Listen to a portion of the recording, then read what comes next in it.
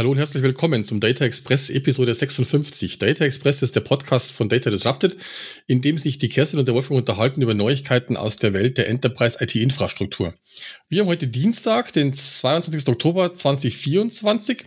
Die Kerstin ist in Nürnberg zur IT-Security-Messe ITSA und darüber wollen wir heute reden. Was gibt es davon zu berichten, Kerstin? Wie ist die Messe? Verwirrend, verwirrend ist die Messe. Ich, ich, bin, ich bin heute, ich war so lost.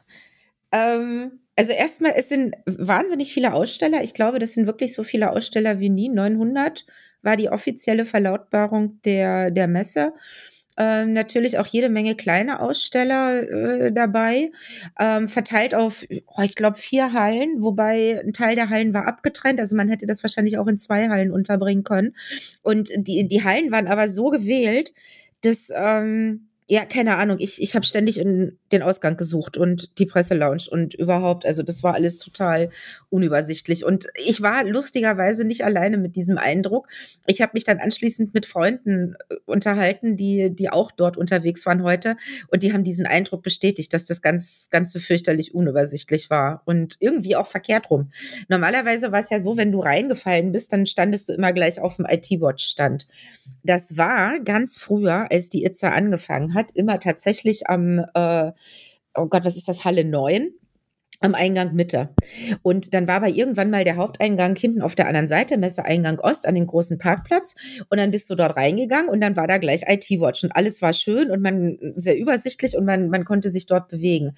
Jetzt ist es irgendwie verteilt auf Hallen, die nicht linear zwischen Mitte und Ost liegen, sondern irgendwie so einen Bogen machen und man kann da durchlaufen und da nicht und darüber und keine Ahnung.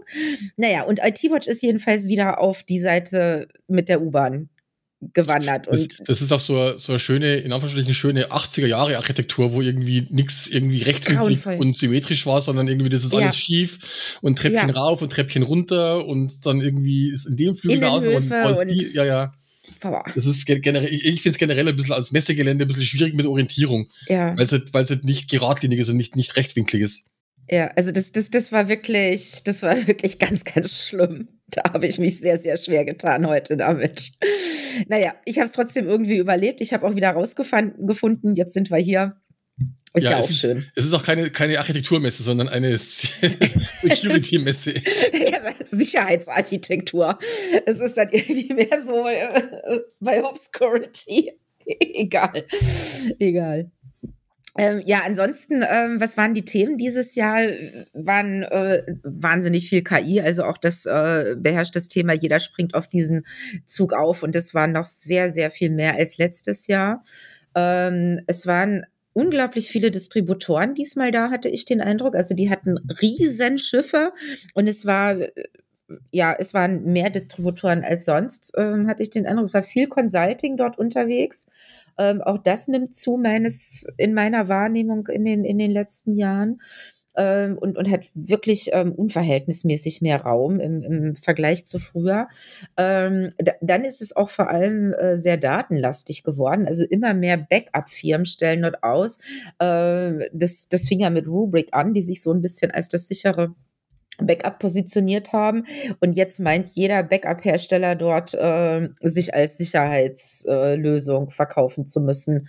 Äh, egal ob Veeam, Cohesity oder weiß der Geier, wie sie alle heißen. Also das ist schon, das ist schon auch auffällig. Es gibt ja auch sonst in Deutschland keine so wirkliche IT-Messe mehr. Das haben wir ja schon in den letzten Jahren beobachtet, dass einfach ähm, relativ viel wo man sagt, das ist eigentlich, was hat das mit IT-Security zu tun, dann doch irgendwie so ein Schnipsel im Portfolio findet, der dann doch mit der Security was zu tun hat, dann gehen sie auf die Messe und haben dann eben das andere Zeug auch noch mit dabei. Mhm. Ja. Ist, also das, das, ja, das verwässert es natürlich auch ja, so ein bisschen genau. irgendwie. Und ich habe heute auch schon erste Stimmen gehört, dass ähm, die äh, e, e, eben genau aufgrund dieser, dieser, dieser Ausuferung ähm, zum Teil die, die ursprünglichen, also ich habe zum Beispiel heute überhaupt gar kein Lametta gesehen. So, sonst war das Ding immer voll mit Lametta. Du meinst, du ähm, meinst Lametta für äh, alle, genau. Höher, höherrangige Bundeswehrmenschen. genau, also alles, was so militärisch unterwegs ist und eine Uniform trägt und ähm, ein oder mehrere Sterne und ein paar Kordeln von der Schulter hängen hat. Ähm, und äh, wie gesagt, ich habe heute auch schon Stimmen gehört, dass die Behörden wegbleiben. Da gibt es wohl ähm, andere Veranstaltungen mittlerweile, die sich dort als lohnenswerter herausstellen inzwischen. Ich glaube, ähm, Digitalgipfel war kürzlich einer oder, oder Digitaltag. Also da, da verlagern sich wohl gerade auch ein paar Dinge. Ich äh, werde das morgen mal beobachten, wobei ich befürchte, äh, Mittwoch ist ja traditionell dort immer der Beutelrattentag. Also Studenten, wenn die Studenten ähm, aus den Unis gelassen werden und auf die Aussteller los. Vielleicht bleiben die ja auch aus. Äh, ich befürchte nicht, weil irgendwie muss ja die Messe auf ihre Besucherzahlen kommen, aber das steht auf einem anderen Blatt. Ähm, ja, schauen wir mal, wie sich das Ganze so entwickelt. Ähm, ansonsten habe ich auch ein paar Perlen gefunden, aber nochmal zurück kurz zu den Themen. Also wie gesagt, KI, ähm, riesen, riesengroßes Thema. Äh, momentan stürzt sich irgendwie alles auf äh, Sec äh, Security Operation Center as a Service, also SOC as a Service, auf Attack Surface, Management, auf Pentesting, auf äh, natürlich OT-Sicherheit, also Operational Technology spielt nach wie vor eine sehr große Rolle. Ähm, E-Mail-Sicherheit ist am Rande ein bisschen mit aufgetaucht und ähm, Quantenverschlüsselung. Und das ist mir gleich zweimal begegnet. einmal in richtig schick und einmal in, oh Gott. also einmal war es ein, ein reines Buzzword. Ähm, mhm. Was da verwendet wurde. Ähm, ja, das, das waren so, das waren so die, die Technologie-Highlights. Und ähm, es gab unglaublich viele Stände, wo, wo überhaupt überhaupt nicht ersichtlich ist, was die machen oder oder was die, ähm, warum die da sind. Also entweder stand gar nichts drauf oder so viel, dass es total abschreckend war gleich und man den Wald dann vor lauter Bäumen nicht mehr gesehen hat. Also auch das lernen Hersteller, glaube ich, in 100 Jahren nicht wenn die auf eine Messe gehen, einfach mal in klaren Worten, wenn einer vorbeiläuft und es erfassen kann, zu sagen, was mache ich? Warum bin ich hier? Warum sollst du stehen bleiben und mit mir reden? Stattdessen springen dich die ganzen Sales-Droiden wieder an wie zu allerbesten Zebezeiten in den 90ern. Also das äh, ist auch sehr auffällig äh, geworden, dass das, äh, das Sales-Volk wieder sehr aufdringlich wird. Vielleicht wissen ja auch die Firmen oder zumindest die Menschen, die auf den Ständen stehen, selber nicht so genau, was sie eigentlich ähm, tun oder machen oder wollen ja, das. Äh also wir haben, wir haben ja auch in unserer mittlerweile vieljährigen Karriere genügend ähm, IT-Unternehmen, Mitarbeiter kennengelernt, wo man sich fragt, was macht der eigentlich da? Oder das ist halt einfach, ne, der, der wechselt den Hersteller ja. und erzählt er heute irgendwie das nächste. Und der konnte genauso gut Kloschüssel verkaufen oder äh, irgendwie Silberbesteck jetzt stark überspitzt und ich möchte natürlich äh, niemanden ja. jetzt irgendwie, der, der das gut macht, in Abrede stellen, äh, dass er seinen Job nicht irgendwie geschissen macht. Aber das, also es gibt eine ganze Menge, die es wirklich gut machen. Es sind auch welche, die Leute, technisch ja. wirklich Ahnung haben. Es waren auch ein paar Gründer dabei. Ähm, ich habe mich aber dann wirklich von den großen Ständen habe ich mich dann auch tatsächlich ferngehalten, weil was will ich mit einer Fortinet oder einer Juniper oder all den ähm, ich, doch einen großen werde ich morgen besuchen, aber auch nur, weil ich dort jemanden sehr gut kenne. Das ist CrowdStrike. Mal gucken, wie die sich morgen dann. Also sie sind auf jeden Fall da und sie schämen sich nicht. Ähm, die hat sich auch so, wegen, gestern wegen, erst gelesen, dass wegen des Desasters kürzlich. Weil du sagst, sie schämen sich nicht. Genau, 19. Ja, ja. Juli. Wir werden den Tag nie vergessen. er wird in die Annalen eingehen.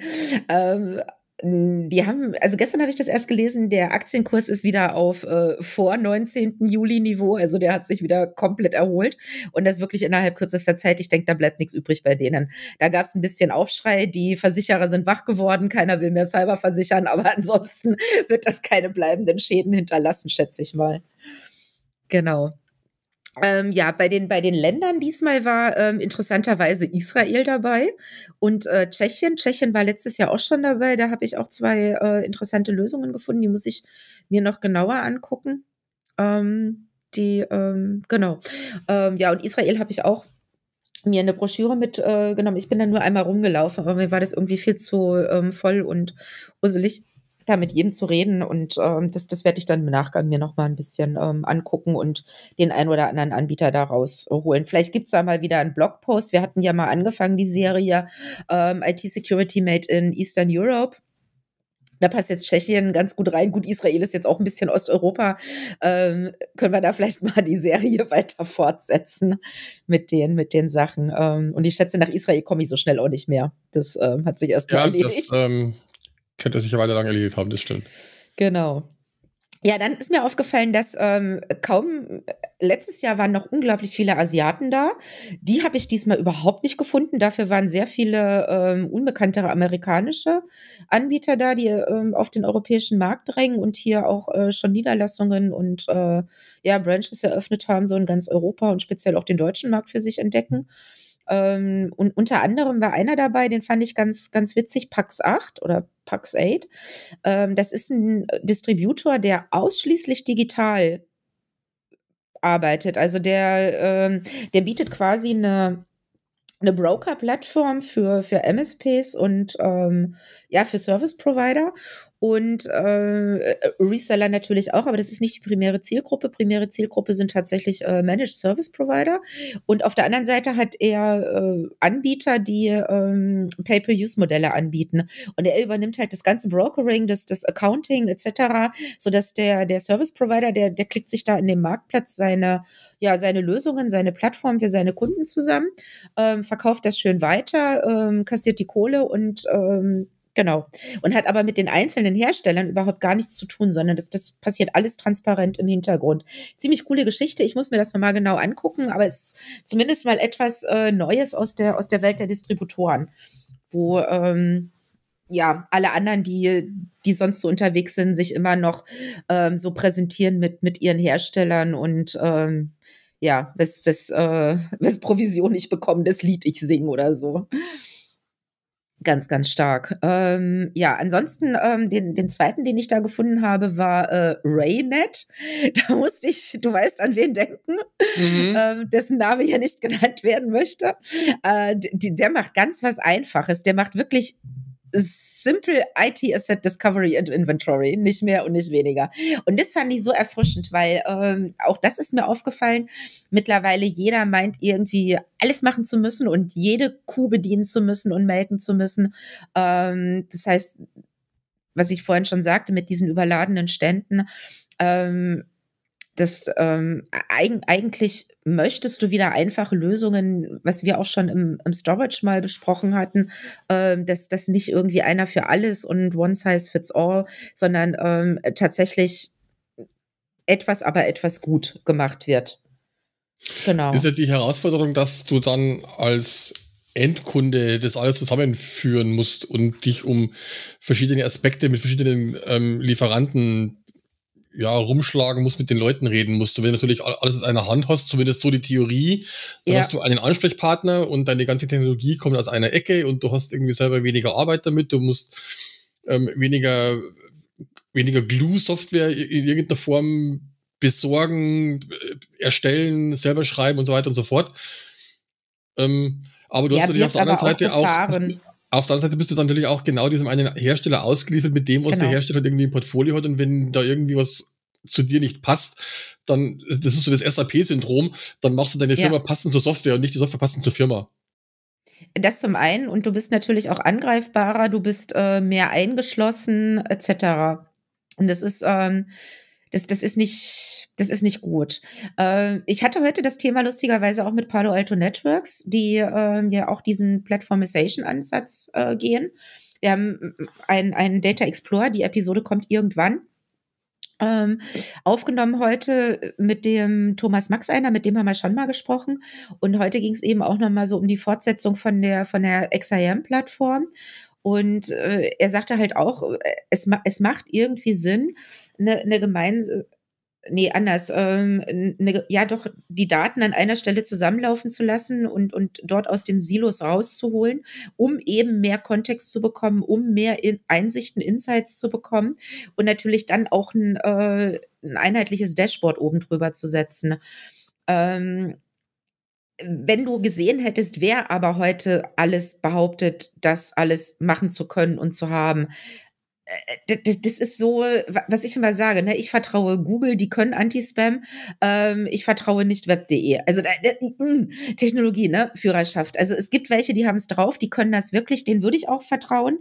Die haben aber auch es geschafft, äh, Integrationen passend zu schaffen. Also die haben, was sagte er heute, ich glaube 190 Integrationen zu allem, was so eine, so eine Firma hat, wo smarte Transitions oder auch Investitionsschutz gegeben ist, die halt dann wirklich einfach nur die, die Daten dort rausziehen, um, um sie zu analysieren. Sowas macht dann durchaus Sinn.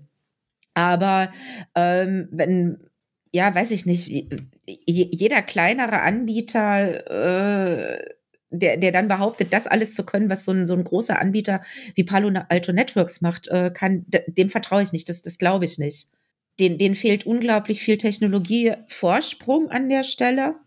Und, ja, es ist auch aber ähm, irgendwann, es ist aber irgendwann eine, eine Vertrauenssache, weil, genau. weil man sich natürlich schon die Frage stellen muss, ähm, wenn, wenn jemand behauptet, er, er kann alles, er, er kann alle Technologien und alle Marktsegmente und alle Branchen und alle Unternehmensgrößen, dann sage ich immer so, hm, das das kaufe ich dem nicht wirklich ab, dass der halt dann irgendwie auch an den Mittelständler denkt, wenn er eigentlich oder, oder wenn er überwiegend mit Großkonzernen halt irgendwie zu tun hat.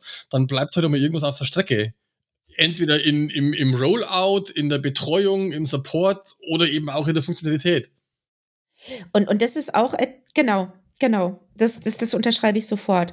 Und ähm, was zum Beispiel äh, Palo Alto Networks macht, und das haben die heute auch wieder betont, ist äh, ein Channel-Only-Modell zu fahren.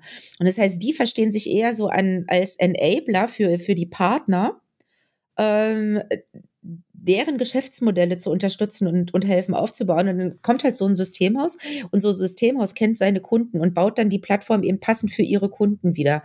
Und dann ist das auch wieder nichts von der Stange in, in dem Sinne. Und das ist so etwas, was ich ähm, vielen, vielen der Anbieter, die, die mir da heute auch begegnet sind, ein, ein Stück weit abspreche. Ähm, ganz, ganz viele benutzen unter der Haube sowieso Technologie von anderen. Das äh, finde ich dann auch ganz interessant zu, äh, wenn du mal so ein bisschen nachfragst und ähm, denkst, was macht ihr denn so? Ach, das macht ihr, das ist ja cool. Und dann siehst du eben, dass die auch nur Pantera unter der Haube einsetzen, wo ich mir dann auch denke, so bleib doch zu Hause. Also dann, dann gehe ich doch gleich zu Pantera. Äh, Pantera, für alle, die sich nicht mehr erinnern, war einer der ersten Automat äh, Pentest-Automatisierungsplattformen. Und ähm, oh Gott, ich, ich muss die Bilder posten. War das, ähm, war das ähm, nicht auch eine brasilianische Metal-Band oder so? Pa Pantera. Nicht Pantera. Okay, ja gut. aber, aber ja, so ähnlich. Genau.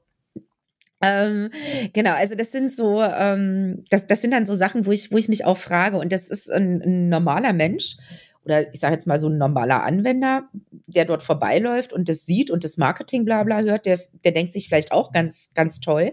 Und der hat aber vielleicht auch nicht so die Markteinsicht, wie wir sie haben und stellt ja, weniger Fragen oder, oder andere Fragen. Und ähm, dann wird dem etwas verkauft, was, was der, derjenige, der es ihm verkauft, gar nicht beeinflussen kann, weil er es nur zukauft. Mhm. Und dann sind wir wieder bei Lieferkettensicherheit und bei Lieferkettentransparenz. Und das ist, ähm, ja, ich äh, bin skeptisch. Also ich finde das sehr, sehr fragwürdig. Naja, wie auch immer. Du hast dann auch möglicherweise auch tatsächlich als, als Endkunde plötzlich äh, irgendeine Abhängigkeit bei dir in deinem Produkt drin, dass du dir so wenn, wenn du es in Einzelteilen kaufst, nicht kaufen würdest, diese Abhängigkeit, aber du, du kannst das in auswählen, du weißt, es wird doch nicht bald, wenn du nicht nachfragst. Und trotzdem Exakt. hast du es. Exakt, das ist die große Gefahr dabei. Genau, das ist, das ist sehr gut zusammengefasst. Ähm, nichtsdestotrotz, ich habe ein paar äh, Perlen gefunden, äh, tatsächlich, die auch neue Ansätze gehen ähm, die sicherlich als Ergänzung zu so großen Security-Plattformen auch, auch für große Unternehmen sehr interessant sein ähm, könnten. Da wäre zum einen ähm, ein ähm, ja, ein, ein, ein Cyber Insight äh, Startup aus, ähm, aus Leipzig. Äh, Cyber Insight, so heißt die Firma. Die Firma heißt Cyber Insight, ein Startup aus äh, Leipzig. Und die haben ein Produkt, Achtung, Trommelwirbel, Threat Finder. Jetzt ein Schelm, der Böses dabei denkt, aber es sind tatsächlich nicht es, es ist keiner aus dem Threat Defender Team dabei. Ähm, es, es ist nicht die, die Leipziger Ur-Ursuppe, ausnahmsweise mal. Ich, ich habe keine Ahnung, wie die auf den Namen gekommen sind. Ich muss, ich muss die mal fragen, woher diese Nähe kommt oder ob das an Leipzig liegt, an der Luft, die dort herumwabert. I don't know. Keine Ahnung. Ähm, was die machen, die, die machen auch ähm, Attack Surface ähm, Erkennung oder, oder äh, Schwachstellenerkennung ein bisschen und ähm, so, so ein bisschen, nee, kein Pentesting, sondern wirklich äh, Threat Finder, was, was der Name schon sagt. Äh, allerdings gucken die, wenn die äh, neben den üblichen IOCs, also Indicators of Compromise, äh, Indicators of Attack etc., Schwachstellenlisten und sonst irgendwas, gucken die auch im ähm, ja im, im Web nach, wie über eine Schwachstelle geschrieben wird, äh, dass die ausgenutzt wird, wie die ausgenutzt wird, wo die ausgenutzt wird.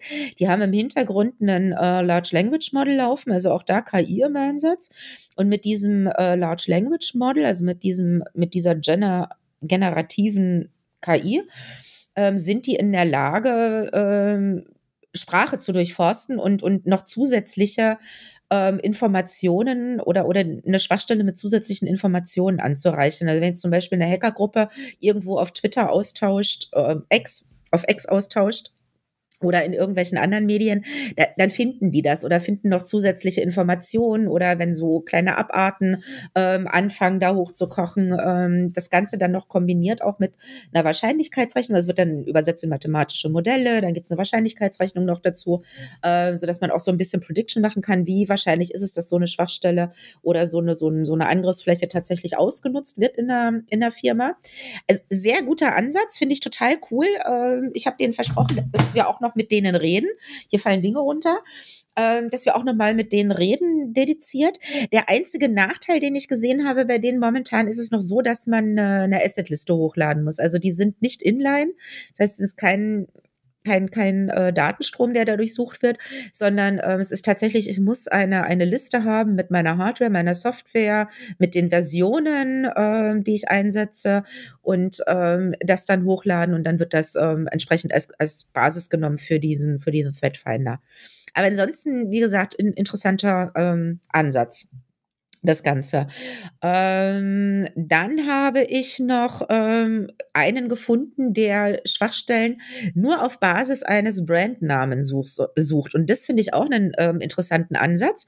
Normalerweise, wenn du nach Schwachstellen suchst oder Angriffsflächen, dann gehst du ins Unternehmen rein, stellst da irgendeine Box hin und ähm, guckst von innen heraus aus dem Unternehmen. Ma manchmal auch ein bisschen von außen, aber eher gezielt.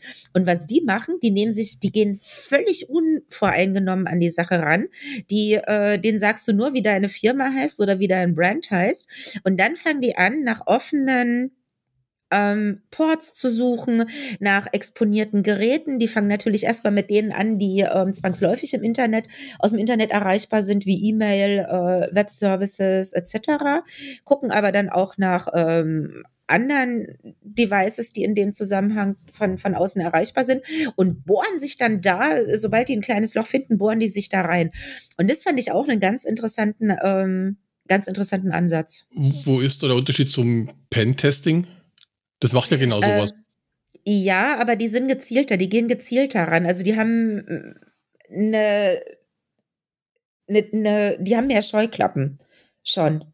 Also bei, bei, denen ist mir aufgefallen, dass die wirklich die gar keine Scheuklappen haben. Das ist die, aber ein schlechter Pentester, wenn er mit Scheuklappen loszieht.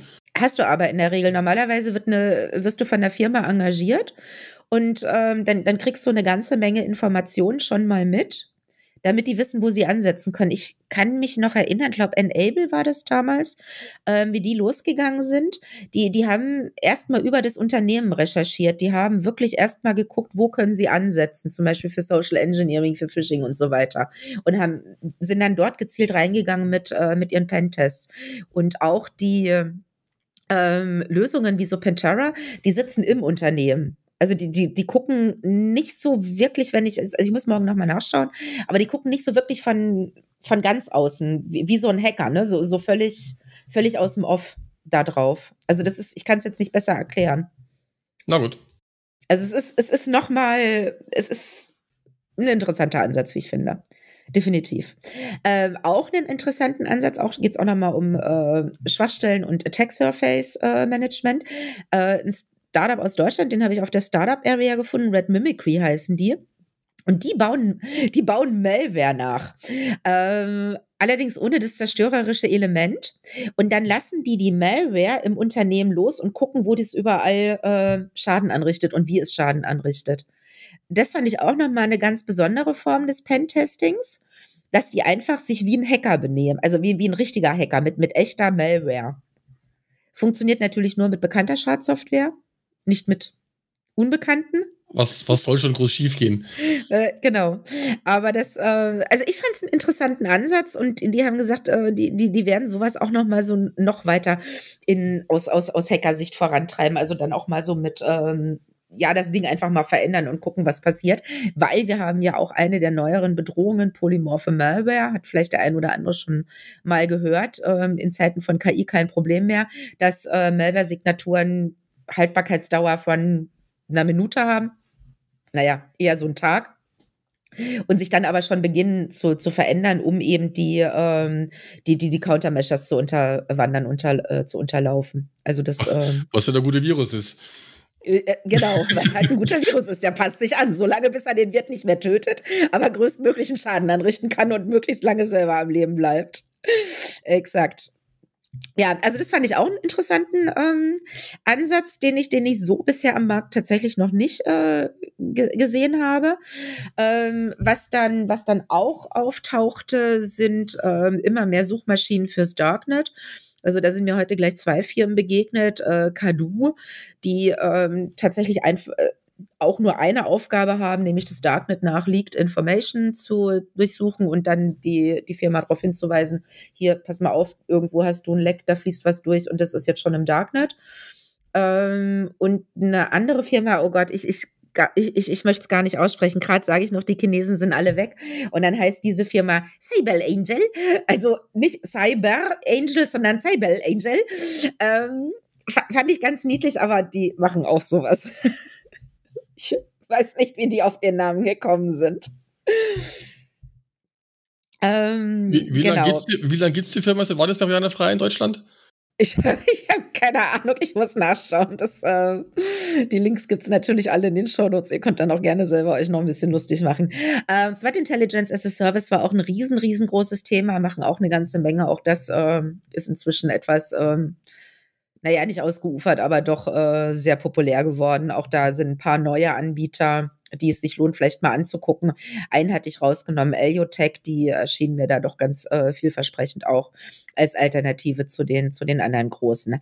Ich habe auch das Cyberlabor von, von Interpol gefunden, also jetzt nicht das Cyberlabor von Interpol, aber die waren zum Beispiel auch beteiligt, als äh, Lockbit hops genommen wurde. Da war Europol ganz, ganz groß und die machen wohl sehr, sehr viel in dem Umfeld. Also die sind maßgeblich beteiligt, wenn solche Hackergruppen ausgehoben werden und das äh, fand ich auch ganz interessant. Ich habe allerdings den Namen vergessen. Ich muss da morgen noch mal hin und äh, mal ein Foto machen. Das habe ich. Da ist es ja auch ich würde, ich sage es mal vorsichtig, wahrscheinlich, aber ich bin mir ziemlich sicher, dass es so ist, es sind auch, ähm, sagen wir so, so große, es ist erstens im Staatsinteresse für die eigene Wirtschaft und natürlich haben die ähm, unter Umständen andere finanzielle Möglichkeiten, als wenn es irgendwie eine Forschungsgruppe an einer Hochschule anfängt, sowas zu tun. Ja, es oder, ist auf jeden oder, Fall eine oder, Firma und äh, die, die äh, stellen jetzt auch dieses äh, Threat Intelligence as a Service auch mit zur Verfügung. Also die öffnen sich da auch und lassen eben auch Unternehmen profitieren von den, von den Findings, die die da äh, rausholen. Ich muss da morgen echt nochmal vorbeigehen. Ich muss den Namen raussuchen. Ich habe das echt, das war ich halt glaub, Du hast ja irgendwann so, so, solche Behörden agieren halt irgendwie im, quasi im Staatsauftrag und natürlich, natürlich hat der Staat auch Interesse daran, dass es seiner Wirtschaft halbwegs gut geht. Vielleicht nicht über den deutschen Staat, also ein anderes Thema. Wir wollen hier nicht politisch werden. Ähm, aber na, wenn du jetzt natürlich viel Cyberangriffe hast oder so oder, oder irgendwie quasi deine Wirtschaft geschädigt wird, das ist dann ja auch irgendwie Bruttosozialprodukt oder BIP, was dann irgendwie in, in Mittelschaft gezogen wird und, und ein paar so Dinge, möglicherweise irgendwie der Außenhandel und und und. Also das ähm, geht dann ja auch tatsächlich zu Lasten quasi der Staatswirtschaft irgendwann mal. Also hast du natürlich Interesse als, als, als Staat da irgendwie ähm, vielleicht auch mitzuhelfen. Ja, ein Staat war es jetzt nicht, es war wirklich eine Firma, aber egal. Ich dachte, du sagst irgendwas von irgendeinem Cyberlabor, Interpol-Kram.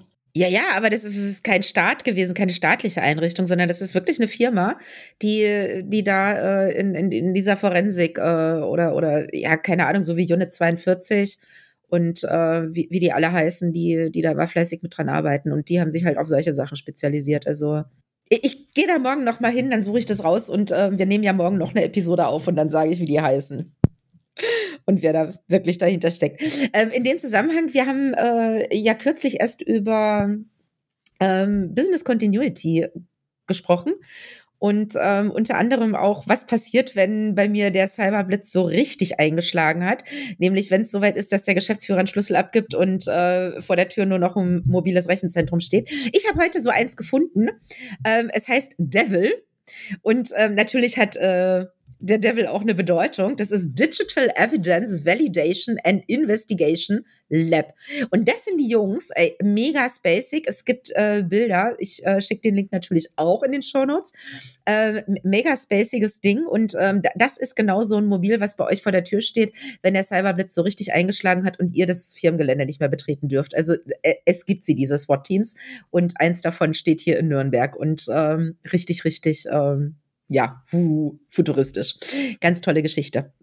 Ähm, was haben wir sonst noch gefunden? Ähm, einen Hund, einen Robodog. Ähm, der hatte keine andere Funktion, der kann auch nichts anderes, außer ähm, rumlaufen, äh, Pfötchen geben und Leute angucken. War sehr niedlich. Ich habe ein Video gemacht, das äh, gibt es demnächst auf LinkedIn noch. Ähm, den, den, hatte Hornet Security dieses Jahr dabei und äh, wer die letzten Jahre da war, Hornet hat äh, in den letzten Jahren immer irgendwelche Roboter da gehabt, dass äh, diese, ähm, ich glaube vor drei Jahren oder vor zwei Jahren waren es so Kellner, Roboterkellner, äh, dann so tanzende äh, Roboter mal und eben jetzt dieses Jahr den Cyberdog, äh, der da rumgelaufen ist in, in Yellow. Sehr, sehr lustige Geschichte. So, was haben wir denn noch gefunden? Ähm, ich habe, äh, was sage ich jetzt zuerst? Ich, ich, äh, wir nehmen erstmal Pink. Ähm, ich bin natürlich auch bei der Telekom vorbeigelaufen, ähm, war auch nicht zu übersehen, Riesenschiff, äh, nicht so groß wie auf der CeBIT, aber äh, sehr, sehr groß.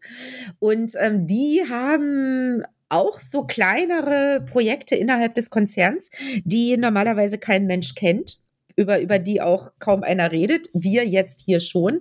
Ich habe sie liebevoll Teleette genannt, äh, an, also in Anlehnung an die Googletten. Ähm, und das ist äh, Dienster, heißt das Produkt, was da entwickelt wurde.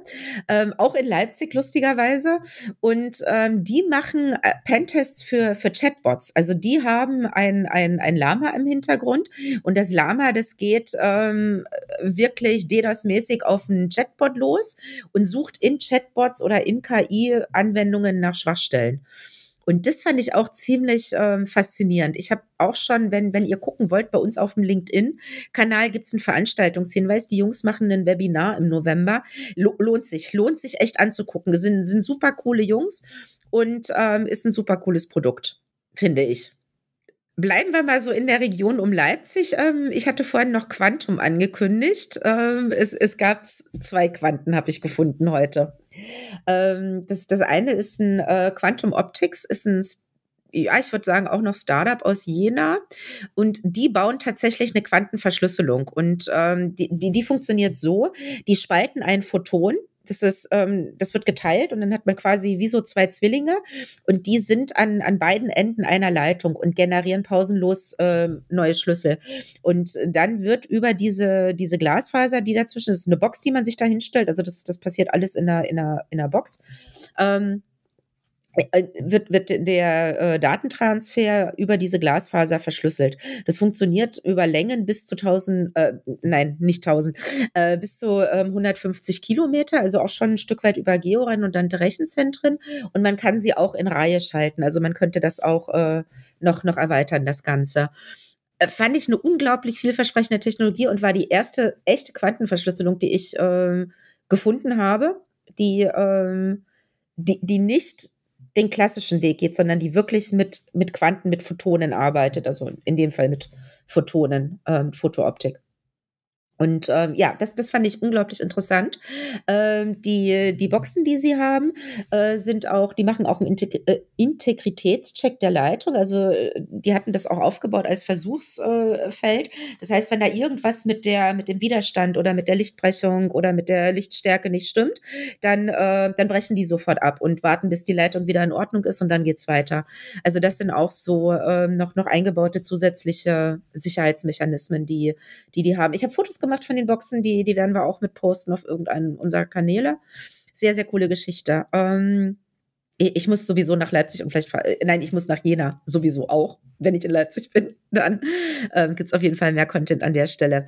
Ja, das andere Quantum, was ich gefunden habe, das war äh, bei Atwa. Atwa kennt man aus dem Netzwerkbereich. Die äh, machen da schon eine ganze Weile nette Dinge. So, so optisches Vermittlungs-, Leitungs-, Vermittlungszeug. Ja, ne? genau. Ne? Genau, also die äh, optische Switcher, wenn man so will, also auch auf, ja, nicht Photovoltaik, aber äh, es heißt so ähnlich. Ja, ich glaube, es sind noch keine ganz optischen Switches, aber das ist für optische Leitungen. Also ja, die Switches genau. noch elektrisch innen drin, aber nicht. Ja, Stimmt, you're right. Naja, jedenfalls behaupten die, eine quantensichere Verschlüsselung zu haben. Und da frage ich mich dann auch immer so, dieses, dieses ganze Post-Quantum-Zeug, wo die, wo die Leute sich jetzt schon Gedanken machen, bis ich einen Quantenrechner mal so weit gebracht habe, mir meine Verschlüsselung zu knacken. Also ich glaube, da vergehen noch Jahre, wenn ich mir angucke, wie weit die Anwendungs, das Anwendungslevel auf, auf Quanten Computern momentan ist, was die machen, was die können. Also ich glaube, die sind far, far away davon, irgendwelche Verschlüsselungen zu, zu knacken, vor allem hochsichere Verschlüsselungen. Das, was Adva macht, ist letztendlich nichts anderes, als zwei Schlüssel zu generieren. Und falls einer mal kompromittiert ist, funktioniert noch der zweite. Wo ich mir denke, dass das ist, ja, kann man Postquantum nennen.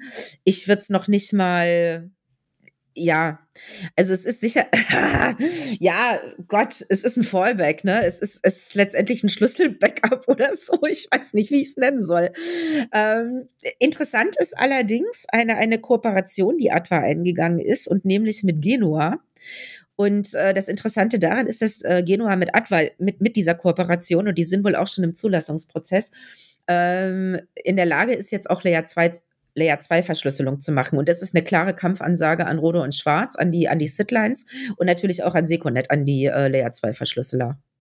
Kampfansage deswegen, weil die Geräte im Behördenumfeld zugelassen und benutzt, zugelassen und benutzt werden. Genau, und das war der einzige Markt. Ja auch so, Geno auch so, ist auch so Behördenmarkt quasi, ist für die ein recht wichtiger Markt.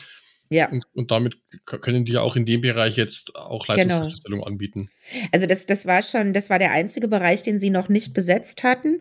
Ähm, die haben ja vorher schon mit ihren äh, Gott, Secure Phones oder ich weiß gar nicht mehr, wie die Produkte alle hießen und mit dem äh, Behördenlaptop, was sie da hatten, sind sie ja schon so ein bisschen auch in, in äh, Richtung Sina Workstations gegangen immer und oder was Rode und Schwarz mit der äh, Kommunikation auf, auf der Telefonseite gemacht hat. Also sie wollten schon immer von diesem Markt immer mehr ähm, abhaben und Layer 2 Verschlüsselung war wirklich eine Domäne, die ausschließlich Seconet und ähm, vor allem auch Rode und Schwarz bedient haben und äh, da spielt äh, demnächst dann offenbar Genua auch mit. Mit welchem Erfolg, das, das wird sich zeigen.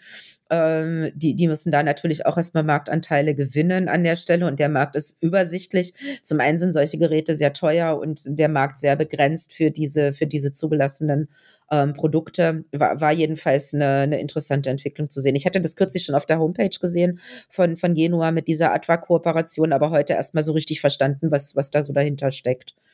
Auf ähm, der anderen Seite könnte dieser ganze Layer 2 Verschlüsselungsmarkt generell größer werden, auch für Privatwirtschaft, jetzt im Zuge von zunehmenden Cyberangriffen, zum Beispiel aus russischer und chinesischer Seite, die ja auch heftig diskutiert werden oder, oder auch ähm, quasi da sind, nachgewiesen, nachgewiesen sind. Und dann haben natürlich auch, ähm, sagen wir mal, größere Unternehmen, die dann weiter verteilt sind, unter Umständen ähm, Interesse dran, es ist die Frage, ob die zugelassene Produkte einsetzen wollen. Naja, weil da hängt noch eine ganze Menge mehr dran. An diesen zugelassenen Produkten hängen dann noch so Einsatz- und Betriebsbestimmungen. Die sind nicht immer unbedingt Stand der Technik. So eine Zulassung dauert roundabout ein Jahr, bis die durch ist. Das heißt, die Technik, die dann zugelassen ist, die ist schon mal ein Jahr alt. Weiß naja, nicht, ob ich das jetzt das, das meine ich gar nicht, aber du hast dann eben als Firma jetzt plötzlich, plötzlich kannst du einen Markt bedienen, wo der Markt an sich einfach auch größer ist. Du lässt doch hinterher. Hm. Den, den, es wenn, gibt, wenn du es vorher ja, es gibt ja Layer 2. Es gibt ja Layer 2 Verschlüsselung auch von anderen Anbietern schon. Das ist, es geht ja wirklich nur um diesen, um, um diesen zugelassenen Bereich. Oder, oder, äh, ja. Also ich kenne wenig Unternehmen, die freiwillig zugelassene Produkte einsetzen. Zum einen aus der Bedienbarkeit heraus, zum anderen ja. aus der Interoperabilität heraus. Aber darum geht es ja gar nicht. Es geht darum, dass ein Unternehmen bisher nichts in dem Bereich hat und jetzt in dem Bereich was hat und der Markt wird größer. Zulassung hinterher. Ja, wie gesagt, ist fraglich, ob. Doch, das ich, glaube, der, so ich, ich, glaube, dass der größte wird. Natürlich wird der größer. Das, das stellt ja gar keiner in Frage. Ähm, der, der wird insofern vor allem auch größer, weil sich immer mehr der Kommunikation oder der Netzwerke in Richtung Layer 2 bewegt. Also dieses, dieses ganze Layer 3, 4 rumgeroute, ähm, da, da rücken ja sowieso schon ganz viele ab. Also es gibt ja auch immer intelligentere Switche, es gibt immer mehr Switch-Networks. Ähm, Switch-Technologie ist, ist generell auf dem Vormarsch und Layer 2 wird, wird zunehmend an Bedeutung gewinnen, definitiv. Ähm, aber wie gesagt, ich, der, der, Markt für solche Geräte ist, speziell für diese Geräte, ist, ist sehr begrenzt. Und ähm, da, ja, egal. Es ist jetzt auch wurscht. Gibt es, ist da. Wir werden sehen. Ich habe fertig. Gut. Wir werden uns morgen unterhalten. Genau. Also ich werde morgen noch mal rumlaufen. Wie gesagt, ich werde diese, diese Interpol-Jungs da, dieses, dieses Cyberlab noch mal ausfindig machen. Das, ist, das, das nervt mich jetzt, dass ich den Namen da vergessen habe. Und äh, natürlich auch mal so ein bisschen andersrum rumlaufen und mal gucken, was ich sonst noch so an neuen Sachen finde und vielleicht auch mal so mit dem einen oder anderen reden, wo heute ein bisschen zu viel los war und, und wo ich mich dann auch nicht so rangetraut habe. Ja, man möchte ja auch keine wichtigen Verkaufsgespräche stören. Nein, unbedingt, unbedingt nicht. Also wir reden morgen nochmal. Mhm. Ähm, ich werde schauen, dass ich die Folge heute schnell bearbeite und auch gleich schnell hochgestellt bekomme, hochgeladen bekomme. Genau. Ich packe noch ein paar Links in die Show Notes. Mein Beitrag zur Episode. Genau. Du hattest heute noch Interviews und morgen noch Interviews, hast du? Oder genau, eins, morgen ne? werde ich sprechen mit äh, Netways. Ähm, Netways ist, äh, da, da treffe ich den Bernd Erk. Das ist der, der Gründer und CEO von äh, Netways. Und mit dem werde ich mich unterhalten über NIS 2 und über ISO 27001. Also da wird es eher so in strategischere Gefilde äh, gehen. Und wie gesagt, heute hatte ich mit äh, Palo Alto Networks geredet. Ich hatte noch ähm, jemand, also den, ähm, den Rico Barth hatte ich noch angesprochen, weil ich habe gesehen, dass Kix auch in, ähm, ausstellt, mit einem Stand vertreten ist und gefragt, ob wir da vielleicht auch noch mal ein Interview machen können. Da kam leider bisher noch keine Antwort, aber da bleibe ich dran für euch. Also Kix finde ich auch eine ganz, ganz interessante Entwicklung. Die kommen ja so aus dem IT-Service oder eigentlich, ja, IT-Service-Management äh, oder IT-Service-Bereich. Und die machen auch ganz spannende Sachen mit der, mit der neuen Plattform Kicks. Cape IT hießen sie früher, wer das noch kennt. Ja, waren regelmäßig Aussteller auf ähm, Linux-Tagen, vor allem in Chemnitz. Mhm. Linux-Tag vor allem, genau. Auch, auch sehr Open Source-lastig, auch in der Open Source Business Alliance sehr, sehr umtriebig. Diese Interviews werdet ihr hören auf Data Explorer in dem Parallelpodcast zu hier, wo wir uns immer ein einzelnes Thema und einen einzelnen Hersteller rausgreifen. Ansonsten habt ihr hier, hier und jetzt und heute gehört Data Express Episode 56, den Podcast von Data Disrupted mit der Kerstin und dem Wolfgang.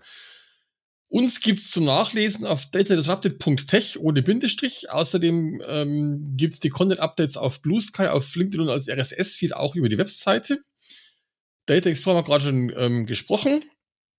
Da wird es also auch demnächst Neues geben. Wir haben noch ein bisschen persönliche IT-Sicht. Das gibt es zu lesen auf äh, Blue Sky. Ähm, einmal Stiefke at Blue Sky und einmal die Frau Stief at Blue Sky. Und wir beide sind noch auf LinkedIn manchmal mehr und manchmal weniger aktiv.